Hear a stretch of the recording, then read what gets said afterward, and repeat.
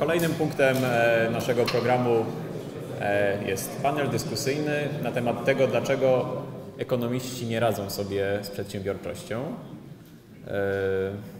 w panelu wystąpił dr Mateusz Machaj, którego mieliśmy już okazję poznać na poprzednim wykładzie.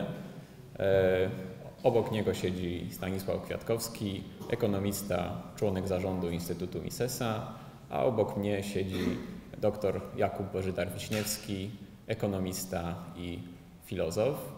E, jakby okazją do tego, żeby na ten temat porozmawiać e, jest e, wydanie przez nas książki Nikolaja Fossa i Petera Kleina Organizowanie działania przedsiębiorczego Nowe spojrzenie na firmę. I w tej książce autorzy w kilku miejscach stawiają tezę, która może brzmieć dość kontrowersyjnie dla niektórych. E, mianowicie Klein i Foss piszą, że w wiodących podręcznikach i najważniejszych artykułach naukowych o teorii firmy próżno szukać jakichkolwiek odniesień do osoby przedsiębiorcy. Dla współczesnej ekonomii postać ta jest wciąż owiana nimbem tajemnicy. E, na początek prosiłbym Was o skomentowanie e, twierdzeń Kleina i Fossa, czy, czy, czy, czy, czy tak jest w rzeczywistości i jak mamy rozumieć e, taką sytuację. To może zacząłbym od takiego bardzo poglądowego, czy też oglądowego ujęcia kwestii. Mi się wydaje, że rzeczywiście jest duży problem jaki ma współczesna ekonomia głównego nurtu z poważnym traktowaniem osoby przedsiębiorcy, dlatego że myślę, że można się pokusić o taką tezę, że ekonomia głównego nurtu e, zabrnęła w taki trojaki wręcz ślepy zaułek pod względem metodologicznym, który sprawia, że to poważne traktowanie przedsiębiorczości staje się mocno utrudnione. No, po pierwsze, ekonomia głównego nurtu to jest e, ekonomia, która e, posługuje się metodami, które bym nazwał scjentystyczno-pozytywistycznymi, to znaczy uznaje, że ma prawo rościć sobie mm, prawo do y, bycia nauką tylko w takim stopniu, w jakim jest w stanie formułować y, sądy, które są y, ilościowo ścisłe. I już w tym momencie pojawia się pewien konflikt na linii rozumienia przez ekonomistę głównego nurtu kwestii przedsiębiorczości, dlatego że on w tym momencie stara się zastąpić, nie tylko zastąpić przedsiębiorcę, ale też sugeruje w pewnym sensie, że o ile przedsiębiorca posługuje się pewnymi mglistymi, niedookreślonymi, intuicyjnymi osądami, o tyle ekonomista jest w stanie formułować prognozy, które są naukowo ścisłe. No tutaj już widzimy jeden powód, dla którego e, przedsiębiorczość w takim realistycznym jej rozumieniu schodzi nam na dalszy plan. Powiedziałbym, że drugi tego rodzaju metodologiczny ślepy zaułek to jest ten, który by można nazwać fizykalistyczno-matematycznym, czy też matematyczno-fizykalistycznym, to znaczy e, tak, takie tutaj e, mam na myśli podejście, które próbuje rozmaite realne zjawiska gospodarcze jednak wepchnąć w sztuczne ramy jakichś wysoce e, abstrakcyjnych, formalnych modeli. I na przykład firma urasta tutaj do roli czegoś w rodzaju czarnej skrzynki, do której wpadają dane wejściowe w postaci gustów i smaków konsumentów, y, rozmaitych y, czynników produkcji, możliwości technologicznych w pełni znanych i potem w obrębie tej czarnej skrzynki zachodzi jakiś magiczny proces optymalizacyjny i po drugiej stronie pojawiają się dobra finalne.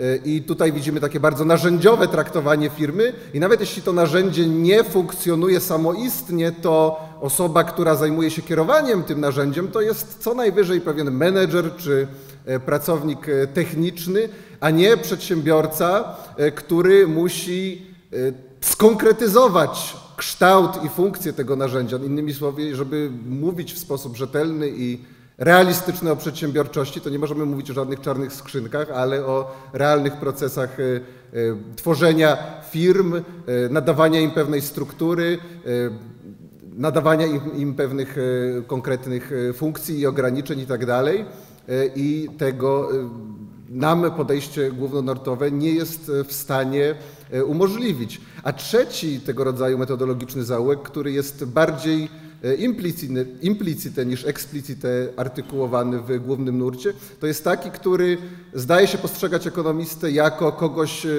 E, kto jest w stanie pełnić funkcję doradczą przy formułowaniu tak zwanej polityki gospodarczej czy też polityki monetarnej. I znowu tutaj pojawia się pewnego rodzaju napięcie pomiędzy rolą ekonomisty a rolą przedsiębiorcy, bo tutaj znowu ekonomista jakby próbuje wysforowywać się przed szereg i podejmować pewne decyzje na temat pewnych kluczowych parametrów gospodarczych, których najwyraźniej przedsiębiorca nie jest w stanie podejmować i być może gdyby taki ekonomista się skupił na realistycznej analizie funkcji przedsiębiorcy, to wyszłoby na to, że jednak tym też się powinien zajmować przedsiębiorca. Więc to jest już bardziej implicite niż explicite wynikające z tego, co bym nazwał dominującym obecnie podejściem ekonomicznym, no ale tutaj również się pojawia e, pewna, e, pewien konflikt czy, czy, czy pewne napięcie. Także wydaje mi się, że te trzy takie metodologiczne ślepe zaułki sprawiają, że pewna narracja, która e, jest typowa dla tradycji przyczynowo-realistycznej, czy mengerowskiej, czy austriackiej, która zawsze skupia się na kwestiach niepewności, odpowiedzialności własnościowej, pewnego, pewnej szeroko rozumianej otwartości rozmaitych danych ekonomicznych, E, jest e, z tymi e, podejściami metodologicznymi niemożliwe do pogodzenia i w związku z tym jej takie bardzo realistyczne pojmowanie przedsiębiorczości nie jest w wystarczającym stopniu doceniane i podkreślane przez tak zwany główny nurt. To może ja zacznę tak troszeczkę żartobliwie, ponieważ wydaliśmy właśnie tą książkę jako Instytut Misesa, to organizowanie działania przedsiębiorczego, bo właśnie mieliśmy takie poczucie, że jest luka na rynku, tak? I jakby brakuje kogoś takiego, kto by tak porządnie usiadł nad tym, jak y, ta postać tego przedsiębiorcy w teorii ekonomii da się wpasować. Tak? I ten tytuł tego panelu, ten, czy, ci ekonomiści sobie nie radzą z przedsiębiorczością, to jakby w nim nie chodzi o to oczywiście, że, y, że ekonomiści nie potrafią być przedsiębiorcami. Zwykle nie potrafią, ale to nie o to chodzi w tytule. Y, ani też y, nie chodzi o to, że nie potrafią skonstruować przepisu, jak być, dobrą jak być dobrym przedsiębiorcą, bo to też nie jest do końca rola nauki ekonomii, ona ma się zajmować czymś innym. Natomiast, że nie radzą sobie i to są takie, i to są takie pierwiostki moim zdaniem oni oczywiście, tu jest masa literatury historycznej, której używają tego, ale to są tak naprawdę moim zdaniem pierwostki dobrego ujęcia przedsiębiorcy w ekonomii. I, i tak y, pół żartem, to jeżeli to jest to, jak ekonomiści dobrze widzą przedsiębiorczość, to to jest jak praktycy dobrze widzą przedsiębiorczość. To są, to jest, książeczka jest troszeczkę grubsza, troszeczkę bardziej intensywna. O, dziękuję. E, I y, jakby przedsiębiorczość jest skomplikowana, tak? To jest naprawdę bardzo dużo wiedzy e, i bardzo dużo decyzji, które przedsiębiorcy podejmują. I ja teraz mówię troszeczkę takie pewne rzeczy kontrowersyjne. Ci z Państwa, którzy czytali trochę literatury austriackiej i wiedzą, jak tam się definiuje tego przedsiębiorcę, to pewnie może teraz sobie myślą, że przecież on myli terminy, bo to myli menadżerów z przedsiębiorcami. Między innymi dlatego tak lubię tą książkę, ponieważ ona wprowadza taką terminologię, która troszeczkę zaczyna e, pozwalać nam mówić o tym, że ci menadżerowie zatrudniani robią niektóre rzeczy trochę podobne do przedsiębiorców. Tak? I ta ekonomia austriacka, która tak się zawsze chwali tym, że jest taka realistyczna, no moim zdaniem jak dotąd przez te typy idealne rozdzielania yy, i, i, i, nie skupiania się na tym, gdzie to się przeplata, to troszeczkę wiele ludzi, wielu ludzi odstręczała, bo każdy jak to czyta, to sobie myśli, no ale jak to, przecież taki menadżer to też ryzykuje, też podejmuje decyzje, to czym on się w gruncie rzeczy różni. I terminologia używana w tej, w tej książce też moim zdaniem pozwala, tą, pozwala te napięcia troszeczkę eliminować. Ale wracając do, wracając do meritum. Um, moim zdaniem przedsiębiorczość w nauce ekonomii ogółem, szczególnie w ekonomii głównego nurtu, jest tragicznie, w tragicznych skutkach dla samej nauki pomijana i ignorowana, głównie dlatego, że jest trudna w modelowaniu. To jest taki tajemniczy byt, e, który, jak Austriacy mówią, że on antycypuje, jakie będą ceny, tak, próbuje, on kombinuje, tak trochę ni to zgaduje, ni to antycypuje, troszeczkę wykorzystuje wiedzy technicznej, trochę, trochę takiego nieuchwytnego jakiegoś wyczucia, nie wiadomo do końca czego, żeby kombinować, jak połączyć środki produkcji w taki sposób, żeby to, co połączy, sprzedać z wyższą ceną niż koszty. Tak? To mówią Austriacy. W ekonomii głównonurtowej tego jest bardzo mało I z tego też wynika jedno takie z takich klasycznych napięć w ekonomii głównego nurtu między mikroekonomią a makroekonomią. Mikroekonomia skupia się na konsumentach i producentach, nie przedsiębiorcach, producentach tych takich tych czarnych skrzynkach, o których mówił Kuba. Yy, I przez to też jak potem przechodzi się do etapu makroekonomii, to jakby jest takie troszeczkę napięcie, że niektóre te rzeczy jakby nie, nie, nie chcą się przetłumaczyć łatwo z mikro na makro. Y, I ekonomiści no, głównonurtowi oczywiście oni to wiedzą, tak? Oni są głupi ludzie. Y, I były, były różne programy badawcze takie y, rozwijane, jak te, te, te, te tak zwane micro foundations, tak? czyli mikrofundacje makroekonomii, żeby stworzyć taką mikroekonomię, z których cegiełek da się odbudować stwierdzenia makroekonomii. No i to jest program badawczy, który no, i przez to, że używa takich narzędzi mainstreamowych, to moim zdaniem, i, i, tylko nie moim zdaniem, ale też wydaje mi się, że wielu ludzi, którzy próbowało w tym projekcie badawczym brać udział, nie jest jakimś wielkim sukcesem. Tak? Oni próbują tam tworzyć pewne modele tych decyzji jednostek, które będą tłumaczyć wielkie agregaty, ale jest całkiem sporo różnych takich dowodów na to, że tego się albo łatwo nie da zrobić, bo łatwiej powiedzieć, że tego się łatwo nie da zrobić, niż odrzucić niektóre kluczowe tezy makroekonomii. Być może to z makroekonomią jest jakiś problem, ale to jest temat na inną dyskusję. Natomiast są takie całe dowody też w ekonomii mainstreamowej mówiące o tym, jest taki słynny teoremat Debre, Sonnenscheina i pamiętam jak ten trzeci się nazywa nigdy, z trzech, trzech autorów, którzy właśnie wykazują, że matematycznie modelowani, modelowane jednostki mikro, jak się je agreguje, to tracą pewne cechy tego, co w klasycznie rozumianej makro się opisuje. Więc nawet oni sami, tak jak używa się tych narzędzi konsekwentnie, to się odkrywa, że jednak to nie jest, y, to, to, to jak, jak się modeluje producentów nie jest najlepsze. I to jest moim zdaniem jedna z najważniejszych rzeczy, taka też dla takiego powiedziałbym nie człowieka, który się zajmować, chce, chce się zajmować profesjonalnie, chce być ekonomistą, teoretykiem i pisać wielkie traktaty na tysiąc stron ekonomii, ale też dla takiego człowieka zainteresowanego ekonomią, że faktyczne zrozumienie procesu rynkowego wymaga zrozumienia tego, co przedsiębiorca naprawdę robi. To znaczy, to jest, Mises tam pisze, tak, ludzkie działanie to jest to, od czego wychodzimy, żeby rozumieć proces ekonomiczny i nawet sami niektórzy ekonomiści austriacy popadają w taką pułapkę, że zapominają o tym. Kiedy mówią na przykład o austriackiej teorii cyklu koniunkturalnego, e, tak, ci z Państwa, którzy wiedzą, to tam bank centralny zaniża stopy procentowe, to wysyła sygnał do rynku, że że pewne inwestycje, które nie były opłacalne, stały się opłacalne, no i ci y, przedsiębiorcy wykonują te, y, robią te ruchy, które byłyby nieopłacalne i potem okazuje się, że to była taka, że, że to było takie oszustwo, tak, że jakby, że, że to przez, że bank centralny wysłał fałszywe sygnały i tych, realiza- i tych przedsięwzięć nie da się zamknąć, no i następuje kryzys, bo są upadłości. Nawet niektórzy ekonomiści austriacy, jak się czyta ich artykuły, to sprawiają takie wrażenie, jakby patrzyli na to tak mechanistycznie, to, trochę jak właśnie to takie, to takie niedobre makro. To znaczy, że patrzą na jakiś agregat i mówią, jest, albo na jakąś wielką zmienną i mówią, to jest taka stopa procentowa, jak się macha tą wajchą, to się coś tam dzieje. A nie patrzą na to tak, że co się naprawdę dzieje z punktu widzenia przedsiębiorcy, czyli że to jest przedsiębiorca, który robi kalkulację, robi tą antycypację kosztów, implikuje, robi to przeniesienie y, z, mm, z wartości dobra końcowego do wartości produkcyjnych i nie rozbijają sobie na tego na małe części, a to jest najprostsza też metoda taka dydaktyczna, żeby sobie samemu w głowie poukładać, co się naprawdę w rynku dzieje. Jeżeli ktoś mówi, że y, z, z operowanie jakąś wielką zmienną y, makroekonomiczną będzie miało jakieś wpływy, to moim zdaniem, jeżeli naprawdę rozumie problem, to jest w stanie pokazać dokładnie krok po kroczku, w jaki sposób na decyzję pojedynczego przedsiębiorcy przesunięcie tej zmiennej wpłynie i że on, co on sobie wtedy prawie że pomyśli i jakie decyzje podejmie. To jest coś, co jest u ekonomistów austriackich i to tylko niektórych. W ekonomii mainstreamowej tego moim zdaniem brak i wszelkie próby jak dotąd kończyły się porażką. To tyle, dziękuję na razie. Ja nie mam nic do dodania, więc... Znaczy ja mogę, proszę bardzo, ale może chcemy inne wątki jeszcze.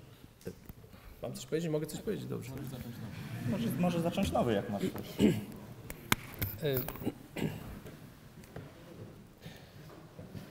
Wydaje mi się, że y, to jest, to, to jest też tak, jak ten nasz roboczy, to robocze pytanie brzmiało, dlaczego nie radzą sobie, tak? Y, to ja bym nawet tak nie powiedział, że nie radzą sobie, tylko po prostu, y, no bo jak weźmiemy ekonomistów tak zwanego tak zwanej ekonomii neoklasycznej, miękko broniących, czyli tej mikroekonomii, której nauczamy na oficjalnym kursie, to wydaje mi się, że w takiej normalnej rozmowie tacy ekonomiści generalnie nie będą mieli problemów z w miarę sensownym mówieniem o przedsiębiorcach.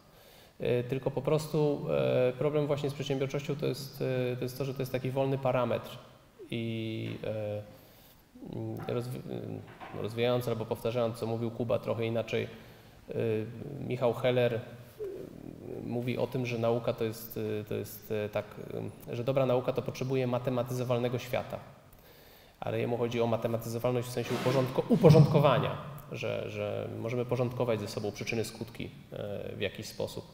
I teraz e, w momencie, w którym mamy tą tak zwaną ekonomię e, neoklasyczną, gdzie mamy krzywe obojętności, krzywe transformacji, gdzie mamy funkcje produkcji zdefiniowane, to e, ta przedsiębiorczość jest takim no, wolnym parametrem, takim, którego się nie da tak zmatematyzować konsekwentnie, tylko da się go opisywać jakoś tak bardziej jakościowo. To samo dotyczy na przykład systemów prawnych, systemów społecznych, systemów kulturowych, które mogą sprzyjać bądź nie przedsiębiorczości. I to jest coś, czego się nie da oddać stosując właśnie tą skrajną matematyzację. I mam wrażenie, że dlatego nawet nie, że nie radzą sobie, tylko nie chcą.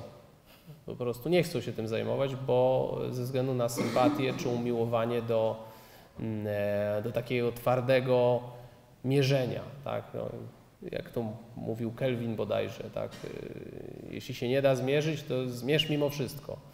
Czyli po prostu y, no, zmierzyć można płace, koszty, pewne obiektywne czynniki, y, fizyczną rzadkość, e, jakąś fizyczną wymienność jednego czynnika produkcji na drugi, chociaż i to jest do zakwestionowania. E, I dlatego ta mikroekonomia wygląda tak, jak wygląda, bo mówienie o przedsiębiorcy to ktoś może wysunąć zarzut, że to jest trochę taka poezja, mówienie, że coś jest niepewne, tam nie wiadomo co się dzieje, nie wiadomo co przyniesie jutro, wszystko się może zdarzyć, wielka rzecz, wiadomo, że wszystko się może zdarzyć. Tak. Więc, e, więc myślę, że to wynika z świadomej decyzji, a, a na poziomie intuicyjnym, czy na poziomie takim, jakby ekonomista neoklasyczny chciał tłumaczyć zalety procesu rynkowego na przykład laikowi, to robiłby to w całkiem udany sposób, mam wrażenie. Tylko, tylko po prostu to zamiłowanie do abstrakcyjnego modelu jest, jest tak silne, tak? bo to jest coś, co można modelować, coś, co można zaaplikować właśnie do oceny jakiejś konkretnej polityki, e, co staje się trudne w momencie, jak zaczynamy rozmawiać o tym przedsiębiorcy jako takim herosie szumpeterowskim, czy mizesowskim, czy kirchnerowskim, jak to woli.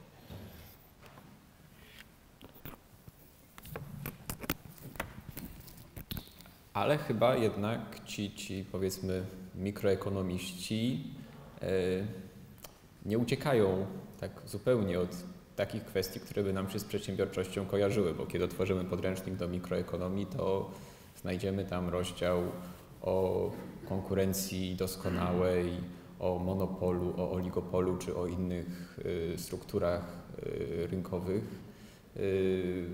Są to kwestie, które by nam się związały z przedsiębiorcą i znajdziemy tam również coś w rodzaju teorii firmy, jakieś takie układy krzywych kosztów, które mają nam wyznaczać y, optymalne punkty y, produkcji.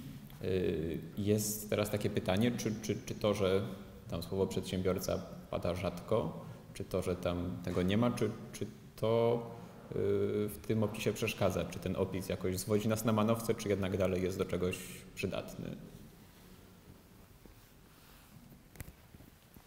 To znaczy, ja bym powiedział, że tutaj mamy pewne cenne informacje, ale one tracą swoją wartość z uwagi na błędne metodologiczne ujęcie, bo przecież można by powiedzieć, że podobne modele, które nie aspirują do wiernego odtwarzania rzeczywistości, mamy w tradycji austriackiej. Mamy przecież model y, y, ostatecznego stanu równowagi, final state of rest, czy ostatecznego stanu spoczynku, mamy model gospodarki jednostajnie funkcjonującej, mamy model świata złożonego z y, idealnie specyficznych czynników produkcji u. Tylko, że zawsze jest ta bardzo silna metodologiczna samoświadomość, która każe nam traktować te modele jako coś, co powinniśmy skontrastować ze światem realnym i to na zasadzie kontrastów. Dowiadywać się no w taki pozwolę sobie tutaj teologicznego słowa użyć, w taki apofatyczny wręcz sposób, rozumieć w ten sposób świat, ten, który tak naprawdę da się ująć w sposób, który ktoś nieżyczliwy mógłby nazwać sposobem poetyckim, bo trzeba tam mówić o niepewności, bo trzeba tam mówić o rzadkości, bo trzeba tam mówić o tym, że wszystko się może zdarzyć, że e, większość kluczowych parametrów jest niedoskonale mierzalna i tak dalej.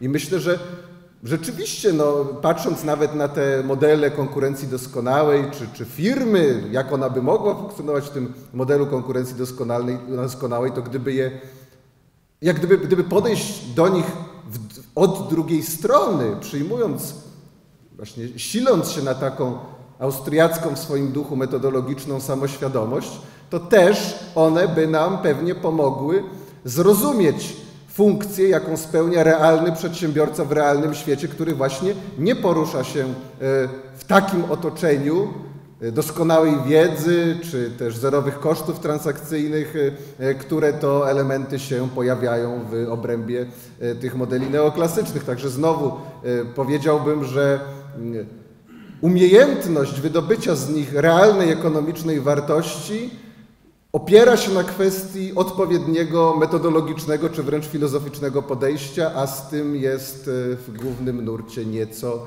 gorzej, a może nawet znacznie gorzej niż e, w tradycji austriackiej, gdzie te stosowne analityczne rozróżnienia wraz z ich konkretnymi metodologicznymi rolami są dosyć jasno przedstawione i tutaj może bym nawet był gotów bardziej bronić tej dotychczasowej tradycji austriackiej niż Staszek byłby gotów jej bronić, ale może to byłby temat na nieco inną dyskusję. Dodałbym tylko do tego jeszcze, że bardzo ładnie widać, jak yy, powiedzmy niedoskonałe są te opisy tego klasycznego mikro, po tym, że y, w, tej, w tym, co ja nazywałem ekonomią ogólnonurtową, ale myślę, że po tym, jak dr Machaj zaczął mówić, że neoklasyczna to jest faktycznie lepszy, bardziej precyzyjny termin, bo nie wiadomo, co jest ekonomia głównonurtowa. Tam jest dużo różnych ludzi, którzy bardzo sprzeczne rzeczy często mówią. E, więc że jakby dobrze widać niedoskonałość tej, tej, tego, tego modelu, chociażby po tym, w jak niewielkim stopniu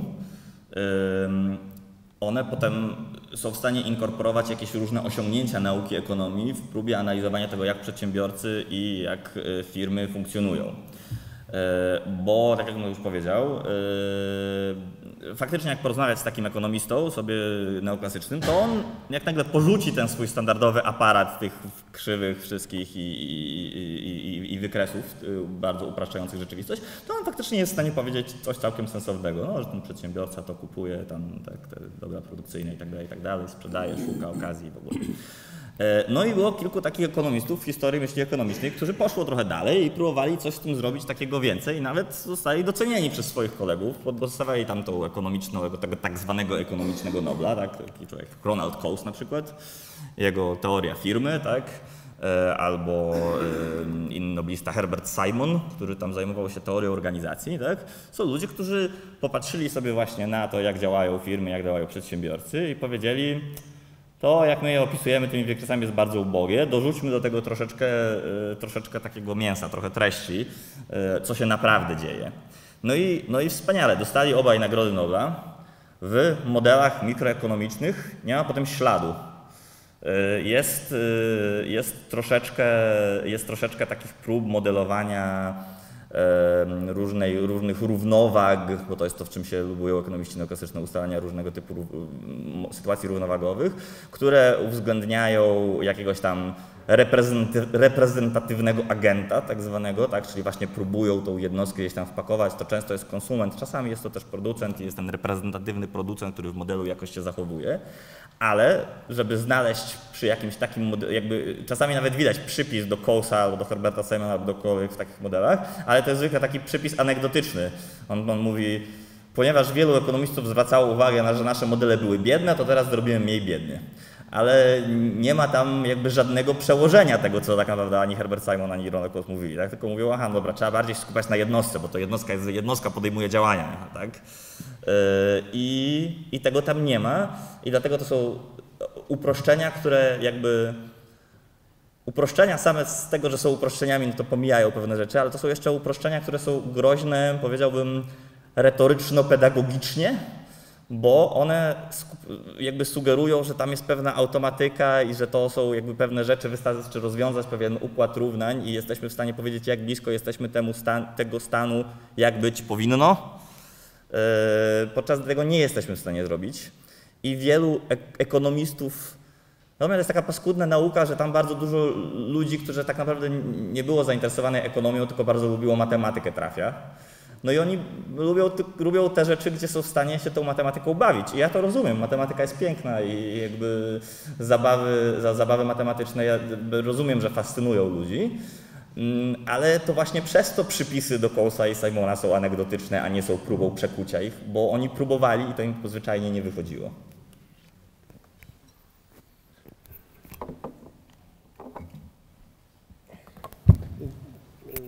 To ja może do paru rzeczy się odniosę. Ja trochę bym polemizował z tym, z, tą, e, z, tą, z, tą, z tymi modelami równowagi u, u Rothbarda. Myślę, że on idzie bardzo daleko w, tej, w, tej, w tym teoretyzowaniu o równowadze, dużo bardziej niż Mises. Zresztą Mises też, też nie do końca konsekwentnie, bo w jednym miejscu pisze w ludzkim działaniu, że tę równowagę wymyślamy tylko po to, żeby znać różnicę między zyskiem a procentem, a potem pisze, że równowagę wymyślamy, żeby rozumieć proces rynkowy, bo żeby rozumieć proces rynkowy, to trzeba sobie wyobrazić, że go nie będzie. I wtedy zrozumiemy, dlaczego jest. Czy coś takiego, tak? Żeby wyobrazić sobie świat ze zmianą, to najpierw trzeba sobie wyobrazić świat bez zmiany. Potem wychodzi, wychodzą jakieś dziwne absurdy. E, także powiem szczerze, że nie do końca mi się, mi się ta teoria równowagowa, szczególnie Rothbarda, podoba, ale to akurat było też obiektem późniejszych publikacji z, z lat 90. i ostatnio pierwszych, pierwszej dekady XXI wieku e, wewnątrz tradycji szkoły austriackiej, która właśnie krytycznie podchodziła, wybrani ekonomiści krytycznie do tego podchodzili. Natomiast nawiązując trochę do a jak polemizowałem z Kubą, to jeszcze ze Staszkiem popolemizuję. E, tam można tego, spotkałem się z tym, z tym a propos kołzem, że jak się prezentuje ekonomię skali i krzywą U, to koszty zaczynają rosnąć ze względów y, kosztów menedżerskich, że, że właśnie, że zarządzanie staje się problematyczne wielką firmą, w związku z tym, w związku z tym tam y, tylnymi drzwiami się tego kołza jakoś gdzieś tam też można tak wpuścić. E, natomiast nawiązując do tego, do tego y, pytania Mateusza, bo ono mi się wydaje właśnie odda, nawiązuje do tego, co mówiliśmy wszyscy wcześniej i oddaje istotny problem w rozumowaniu o procesie rynkowym w zależności od tego, jak kształtują się ceny i decyzje przedsiębiorców. Mamy właśnie narysowaną krzywą jakąś kosztów, mamy jakąś narysowaną krzywą popytu indywidualnego i w oparciu o to klasyfikujemy rynki. Rynek doskonały, rynek, y, y, konkurencja doskonała, konkurencja monopolistyczna, y, monopol, tak? Mamy te trzy takie wielkie kategorie tak naprawdę. Oligopol już staje się takim niepewnym gruntem, bo tam już nie wiadomo co, jak się dzieje. Przynajmniej mniej wiadomo niż w tamtych poprzednich przypadkach. I teraz sklasyfikowanie jest możliwe tylko jak znamy, y, znamy krzywę kosztów i znamy krzywę y, popytu. One muszą być znane z góry, przedstawione. Tak? A problem z przedsiębiorczym działaniem jest taki, że one nie są tak naprawdę znane, albo można twierdzić, że są znane z bezpośredniej przeszłości, z tego, co się przed chwilą działo. I y, Israel Kitzner w, w, tej, w tej książeczce swojej o przedsiębiorczości w pewnym momencie pisze, że jak wprowadzano tą konkurencję monopolistyczną, to twierdzono, że to jest wielka rewolucja teoretyczna, jak Chamberlain i Joan Robinson to prawda wprowadzali. To jest wielka przemiana, coś nowego, nowa jakość. A Kirchner odpowiada, jaka to nowa jakość? Zmienili kształty, kształt, kształty krzywych, przepraszam tylko, tak? Więc jaka to nowa jakość? Dalej jest problem z tym, że zakładamy, że te krzywe są znane w jakiś sposób i one istnieją, a w procesie rynkowym one nie są znane. One się dopiero kształtują i pojawiają w przyszłości i są inne od tych, które były w przeszłości. Eee, Mimo tego, że ta teoria stała się podstawą na przykład rozumowania w kwestiach antytrustowych, w kwestiach tak zwanej polityki promonopolistycznej, przepraszam, antymonopolistycznej ona się nazywa, tak? E, bo oczywiście, prawda, w zgodzie z teorią konkurencji doskonałej, lepiej mieć jeden urząd antytrustowy, a nie nieskończenie wiele, które ze sobą by konkurowały. No ale to już, prawda, wiadomo. Monopol jest czasami dobry, tak? To też przypomina się mi awiator i, i właśnie scena, jak senator Brewster, jak y, Howard Hughes właśnie do senatora Brewstera. Czy, czy uważasz, że to jest fair wprowadzać monopol y, dla firmy na, na loty międzynarodowe? On powiada, monopol? Nie, nie, nie, to nie jest monopol. Ja uważam tylko, że jedna firma zrobi to lepiej niż, niż, niż kilka firm. Tak? E, także tutaj trochę podobne rozumowanie. I trochę rozwijając to, co Kirchner powiedział, na przykład w latach 80. pojawiła się teoria rynków spornych, kojarzona z Baumolem, gdzie ona dosyć mocno uderzyła w teorię konkurencji doskonałej i też zmieniła rozumowanie dotyczące polityki antymonopolistycznej na takie bardziej rynkowe.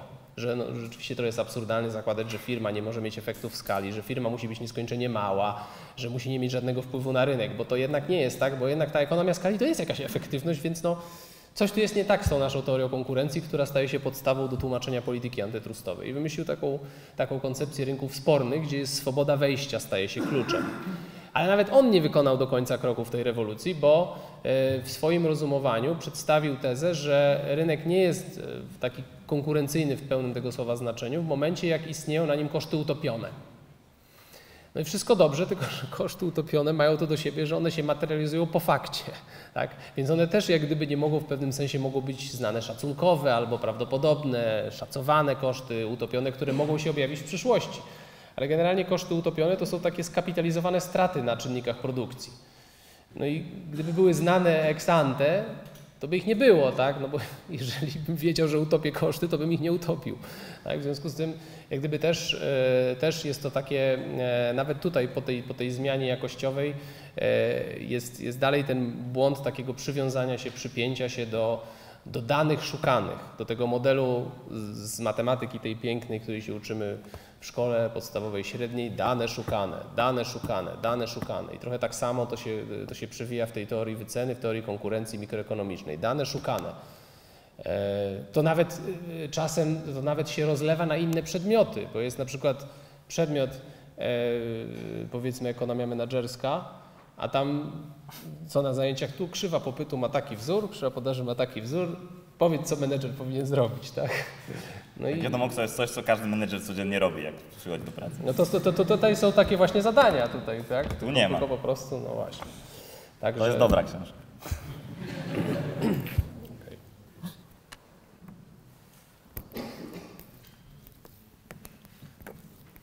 To rozmawialiśmy na razie bardziej o teorii ekonomii, ale też w ostatnich dekadach, powiedzmy może obok katedr ekonomii wyrosły powiedzmy szkoły biznesowe na zachodzie, gdzie podjęto tak badania nad przedsiębiorczością. Yy, z tym, że o co, co się tam bada? No bada się na przykład firmy rodzinne, startupy czy osoby samozatrudnione. Tak jakby to jest obiekt badań nad przedsiębiorczością w dyscyplinie, która nazywa się e, badaniami nad przedsiębiorczością, a jakby no, to jest tylko część jakby całego procesu rynkowego. Wręcz jakby można spotkać się na przykład z takimi zarzutami, że w Polsce liczba małych firm jest równie wysoka co w Bangladeszu, co pokazuje, że przedsiębiorczość jest e, przeceniana, tak? że Bangladesz jest jakimś mitem przedsiębiorczości, bo e, widać, że, że, że z tych małych firm bogactwo się nie bierze. Bogactwo jest w Niemczech, gdzie są już utrwalone struktury korporacyjne e, i tak dalej. Jakby czy, czy, czy ten rozłam w takim postrzeganiu przedsiębiorczości między czymś małym, rodzinnym, jakimś nowym założeniem, a firmami już ustalonymi, które y, działają już nawet dekady czasami, czy, czy, czy to jest uzasadnione, czy, czy można znaleźć jakiś wspólny, pom wspólny pomost, który łączyłby y, działania Coca-Coli czy McDonald'sa y, nie wiem, z food truckiem, który serwuje burgery. No rzeczywiście, o ile można by z jednej strony mówić, że dobrą rzeczą jest to, że wyodrębniły się szkoły biznesowe i że w obrębie tych szkół biznesowych czasem się właśnie takie podejście do przedsiębiorczości przyjmuje, bo to jest być może próba wydobywania przedsiębiorczości jako pewnego istotnego wątku z kleszczy, ujmując rzecz nieco pejoratywnie, tych najgorszych, najmniej metodologicznie uzasadnionych praktyk ekonomii neoklasycznej, no to rzeczywiście to podejście wiąże się też ze swoimi własnymi specyficznymi e, problemami, na które może zaradzić jedynie jednak rzetelna teoria ekonomii, która będzie w sposób rzetelny ujmowała kwestie przedsiębiorczości, bo e, rzeczywiście w obrębie nauki o przedsiębiorczości pojawiły się takie rozmaite podejścia, bądź to strukturalne, o którym Mateusz mówił, które rozróżnia na małe firmy i duże firmy i twierdzi, że przedsiębiorczo, czy szczególnie przedsiębiorczo zachowują się wyłącznie te małe. Jest też e, podejście takie, e, które traktuje przedsiębiorcę jako, jako osobę samozatrudnioną. I y, główny zarzut, jaki możemy mieć wobec tego rodzaju fragmentaryzacji podejść, to jest to, że y, one rezygnują z poszukiwania jakiegoś wspólnego, funkcjonalnego e, mianownika działania przedsiębiorczego, a tradycja austriacka nam takie, taki wspólny mianownik oferuje. Szkoła austriacka słusznie zauważa, że wśród rozmaitych e, czynników e, produkcji, które podlegają obrotowi rynkowemu, nie znajduje się przedsiębiorczość, dlatego że przedsiębiorczość związana jest z koniecznością wdrażania pewnego unikatowego e, przedsiębiorczego osądu, tworzenia pewnej unikatowej wizji tego, jak w danych okolicznościach miejsca i czasu radzić sobie z tymi immanentnymi problemami ludzkiego działania, czy wielkoskalowej współpracy społecznej, jakimi są problemy E, rzadkości i niepewności. W związku z tym e, niezbędne jest to narzędzie przedsiębiorcze, jakim jest firma, czyli pewna oprawa instytucjonalno-organizacyjna, w ramach której przedsiębiorca może ten swój osąd wdrażać. I y, bardzo istotny punkt zawarty w tego rodzaju podejściu to jest zwrócenie uwagi na to, że w tym kontekście nie ma znaczenia, czy będzie to firma duża czy mała, nie ma znaczenia, czy będzie to firma młoda czy stara, bo te problemy rzadkości, niepewności, otwartości i zmienności danych, y, potrzeby odpowiedniego rozdzielania kompetencji, potrzeby dokonywania osądów na temat osądów innych, bo to jest tak naprawdę ta finalna e, funkcja właścicielska, której przedsiębiorca, właściciel nie może na nikogo oddelegować. To są rzeczy, które się nie zmieniają w zależności od kontekstu. E, to są kwestie, z którymi w równym stopniu musi sobie radzić startupowiec, co e, przedsiębiorca znajdujący się w, w zarządzie Coca-Coli czy innej równie mocno zakorzenionej spółki a w im większym stopniu postrzegamy gospodarkę jako twór e, dynamiczny, który w obrębie którego te przeobrażenia na liście na przykład 500 największych spółek dokonują się coraz bardziej dynamicznie, no to tym, w tym większym stopniu to podejście strukturalne jawi nam się jako no, w pewnym stopniu nieadekwatne.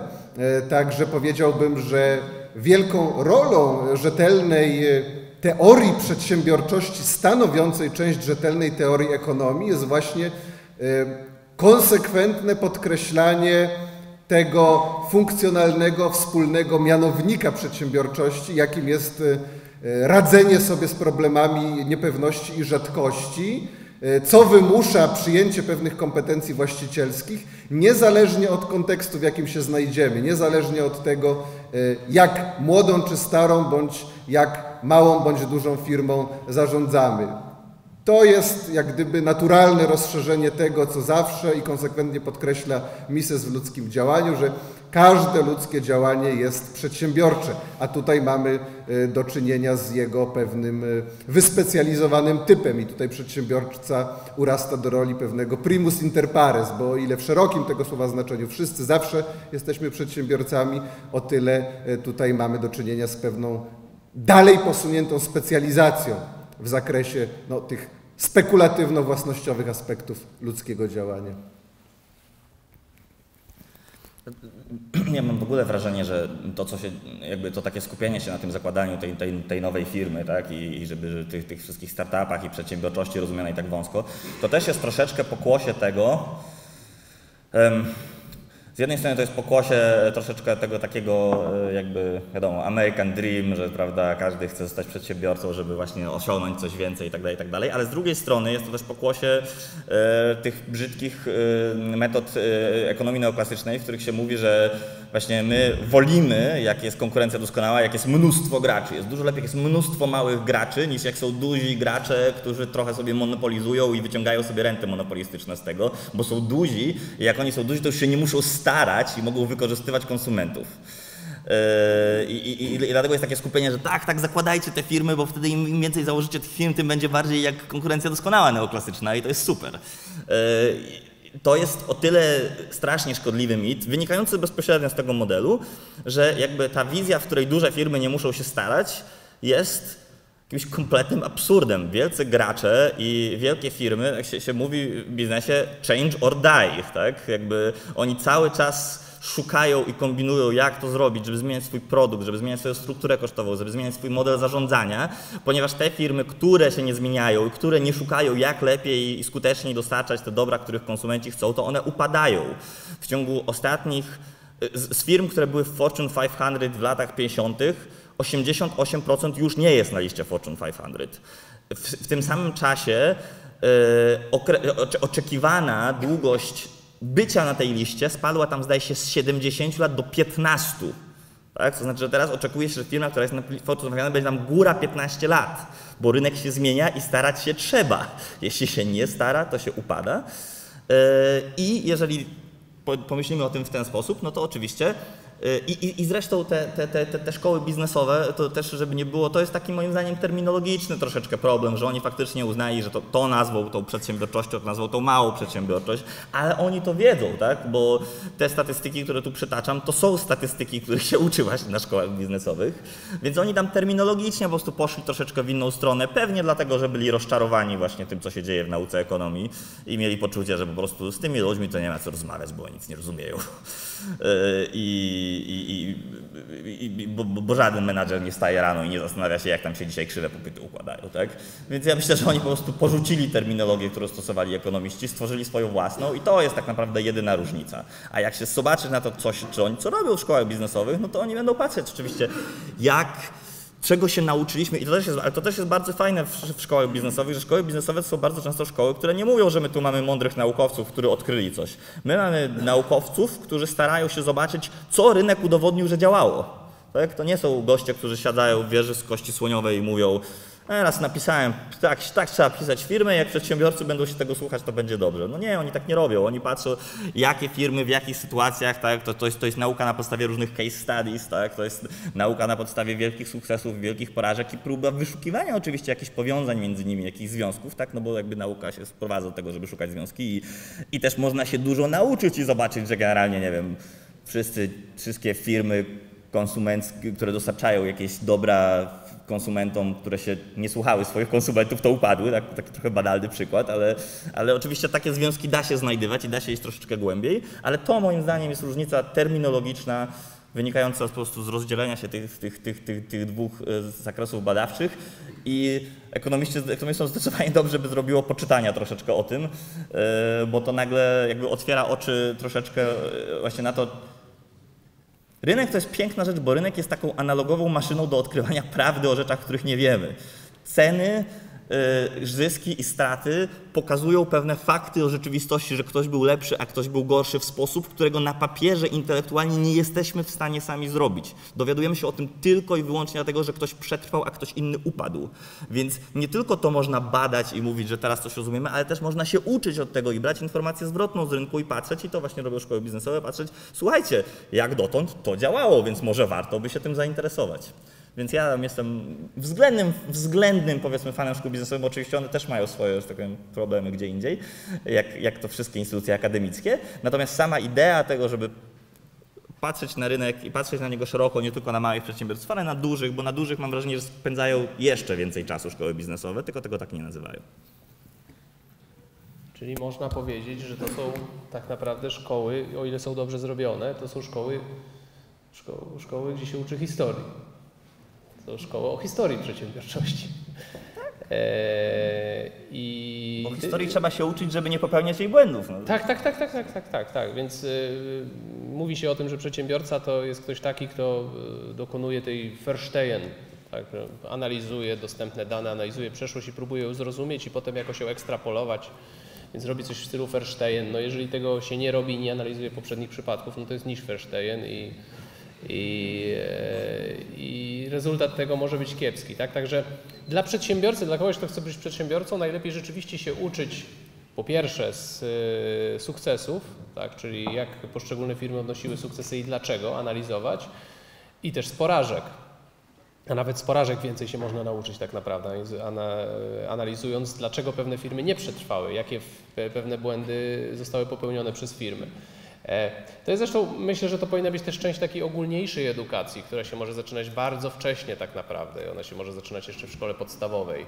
E, próba podejścia analitycznego do wszystkiego. Tak? E, takim modelowym przykładem tego jest Jobs. Tak? Ja, ja mówię często studentom, żeby sobie obejrzeli prezentację pierwszego iPhone'a w 2007 roku. O tym e, już bardziej nie chodzi o produkt czy reklamę, tylko sposób jego myślenia, to jak on mówi o poszczególnych częściach składowych produktu, że odseparowuje to od konkretnego zmaterializowania, bierze szerszą perspektywę i zastanawia się e, nad tym, gdzie są silne strony, gdzie są słabe strony tego, co mamy. Tak? I to można by sobie różne rzeczy tak przeanalizować, można by różne problemy sobie stawiać, bo to bardzo rozwija, tak na przykład, nie wiem, Ostatnio dużo dyskutowana kwestia korków w miastach, tak? z czego wynikają korki, tak? przeanalizować sobie, że to jest taka konstrukcja, że to auto jest duże, a po co ono ma to z przodu, no bo tak historycznie to wygląda, ale czy to musi mieć z przodu dalej, czy to nie da się obciąć tego przodu i nie da się tego tyłu zmniejszyć, zrobić mniejszej kabiny, tak? I myśleć, e, myśleć nierutynowo, tak? I myślę, że y, przypadki historyczne pozwalają nam y,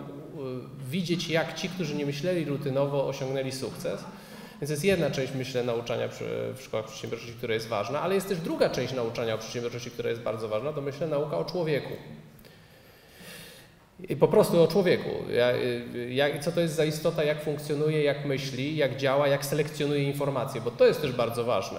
E, I bardzo często źródłem błędów w wielu firmach jest, e, oczywiście składa się na to zawsze bardzo wiele różnych czynników, ale, ale często, często błędy są popełniane dlatego, że selektywnie się podchodzi do pewnych informacji i, i, nie ma się na przykład w firmie odpowiednich mechanizmów kontrolnych, albo na przykład się nie zastanawia, co może być nie tak. Jest takie, nie pamiętam, była taka firma lata 80., 90. Sz, sz, sz, amerykańska chyba, która produkowała rowery, e, gdzie jeden z członków zarządu zaproponował, że może wejdziemy w rynek rowerów górskich i będziemy rowery górskie produkować. Ten, ten, ten szef zarządu był, kompletnie mu się to nie spodobało, nie? To kiepski pomysł nie ma mowy, e, ale ten się upierał, że może to warto rozważyć, bo inne firmy to rozważają. I dobrze, porozmawiamy o tym na następnym spotkaniu za dwa tygodnie. No i za dwa tygodnie odbyło się spotkanie, ale już ten członek zarządu kontestujący już nie był członkiem zarządu. W związku z tym na pytanie, czy kontynuujemy dyskusję, oczywiście odpowiedź była, że nie ma o czym rozmawiać. Tak? E, to jest jeden z takich przykładów, gdzie, gdzie właśnie pewne ufiksowanie, tak naprawdę no personalne, tak? bo to pewne cechy charakteru jednej osoby sprawiły, że nie ma szerszej perspektywy. I tak często z ludźmi jest, że się na coś upierają, że nie chcą dyskutować, nie chcą, nie chcą kwestionować, nie chcą rozmawiać o niektórych istotnych sprawach, a to jest rzeczywiście bardzo ważne nie tylko w każdym elemencie naszego życia, ale też właśnie wtedy, kiedy podejmujemy działania przedsiębiorcze. Myślę, że o tym należy pamiętać. Należy pamiętać o tych wszystkich bias, które są w literaturze. Availability bias, confirmation bias, tak, że szukamy po prostu potwierdzeń na... na, na, na to, błąd poznawczy po polsku. Yy, błąd poznawczy, tak. No. A nie błąd potwierdzenia? Różne. W sensie, wszystkie bajasy to są błędy poznawcze. Aha, okej, okay. rozumiem, ta grupa, kategoria. Także yy, i myślę, że z jednej strony można właśnie historyczne analizy, ale nie tylko McDonalda, Apple'a i, i tych, którzy odnieśli sukces, ale też analizy tych, którzy nie odnieśli sukcesu, którzy upadli. Studebakera, Zenita, tak, Kodaka oczywiście największy, najsłynniejszy, często używany. E, bo trafiający najbardziej do, do, do, ludzi, chociaż coraz mniej, bo niektórzy już nie wiedzą, że się klisze wkładało do, do aparatów kiedyś. E, I poza tymi dwoma rzeczami, czyli sukcesy, porażki, jednocześnie też trochę nauki o, o, o tym, jak ludzie podejmują decyzje i dlaczego je podejmują w taki inny sposób. Więc trochę też psychologii, socjologii społecznej, psychologii, psychologii społecznej i też psychologii ekonomicznej myślę nie zaszkodzi. I takie szkoły jak najbardziej, one rzeczywiście mogą wyposażyć w narzędzia, które zwiększają szanse na sukces, ale go oczywiście nie gwarantują. Kirchner chyba kiedyś dostał tak nagrodę takiej szkoły biznesu. Stowarzyszenia Small Business Enterprise Award, coś takiego. Tak, i w mowie podziękowalnej powiedział, że w sumie to tej nagrody nie powinien dostać, tak? Jeśli dobrze pamiętam. Tak, bo uzasadnienie wskazuje, że generalnie instytucja w ogóle nie zrozumiała jego badań i, i myślał, że on coś tłumaczy, jak być dobrą przedsiębiorcą. tak, że, e, tak, że tego się, że, bo Kirsten zawsze mówił, że tak, jak gdyby przedsiębiorczości nie da się nauczyć i nie da się na przykład kupić jej na rynku. Nie można wynająć przedsiębiorcy tak naprawdę. Można wynająć menadżera, który będzie przedsiębiorcą akurat, ale nie da się kupić przedsiębiorczości jako czynnika produkcji. E, a tymczasem tutaj wynikałoby z tego, że tutaj są szkoły, które mogą nauczyć, tak jak można zwiększyć swój ludzki kapitał, poszerzając swoją wiedzę, tak tutaj się pojawiała teza, że można by się nauczyć przedsiębiorczego działania. Nie do końca, ale można się wyposażyć w narzędzia, które, to, które zwiększają szanse na skuteczne przedsiębiorcze działanie.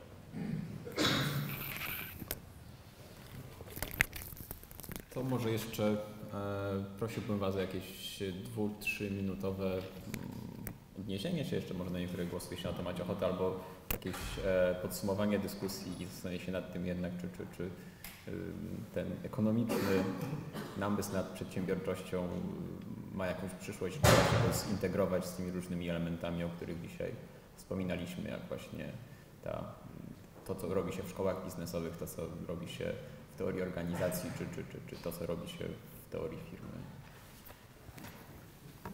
Znaczy, jeśli pytanie brzmi tak, czy ekonomiczny namysł nad przedsiębiorczością ma ogólnie jakąś przyszłość, jeśli chodzi o lepsze rozumienie praktyki przedsiębiorczej, czy lepsze docenienie roli przedsiębiorcy w świecie, e, to myślę, że zdecydowanie ma on przyszłość, tylko że ja patrzę na to w ten sposób, że nie tyle bym widział przedsiębiorczość jako jakiś wyodrębniony dział teorii ekonomii, co może raczej jako pewien pryzmat, przez który patrzymy na różne problemy ekonomiczne. I dla mnie jednym z głównych y, czynników, jedną z głównych cech wyróżniających tradycję austriacką, węgrowską, przyczynowo-realistyczną było to, że ten przedsiębiorczy, czy może nawet przedsiębiorczościowy, jak rzecz została nazwana w książce e, Kleina i Fossa, jest czymś bardzo cennym i unikatowym, bo warto zwrócić uwagę, że tak naprawdę to skupienie się na roli przedsiębiorcy e, jako na e, głównym czynniku, głównej sile napędowej procesu rynkowego, to jest coś obecnego we wszystkich głównych, najwybitniejszych osiągnięciach szkoły austriackiej. Nie ma teorematu o niemożliwości funkcjonowania racjonalnie alokującej zasoby gospodarki socjalistycznej bez e, przedsiębiorcy i bez e, skupienia się na jego roli i na tych warunkach instytucjonalnych, które mu umożliwiają spełnianie tej roli albo nie. Tak samo nie ma na dobrą sprawę teorii cyklu koniunkturalnego bez podkreślenia roli przedsiębiorcy i tego, jak chaos kalkulacyjny spowodowany sztucznym zaniżaniem stopy procentowej powoduje e, całe zestawy czy grona duże błędów przedsiębiorczych i tym samym e, e, wywołuje cykle koniunkturalne. I mi się wydaje, że to jest takie słuszne podejście, które sprawia, że czy wskazuje na to, że wiele jest jeszcze takich niezagospodarowanych do końca obszarów, obszarów ekonomii właśnie, gdzie czy przez, na które powinno się przez ten pryzmat spojrzeć. No, teoria firmy jest kolejnym takim obszarem, na który w sposób bezprecedensowo kompleksowy patrzą właśnie Klein i Voss.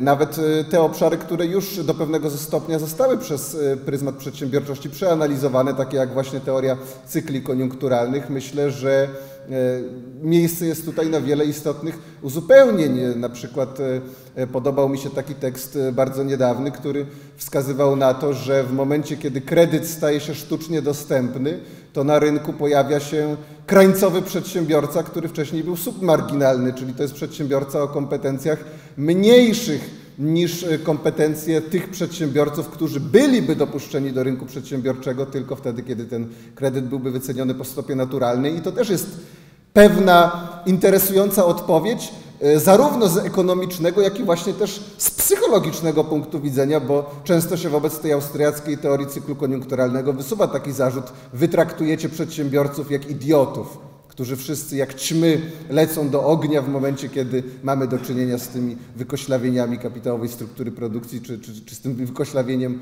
e, stopy procentowej.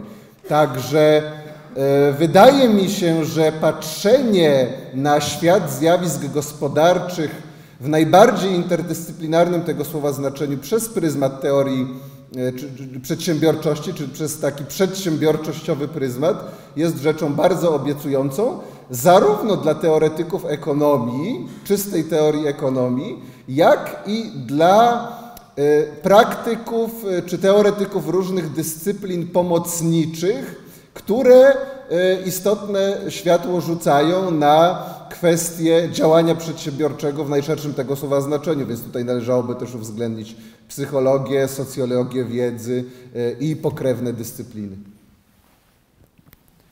To tylko krótko.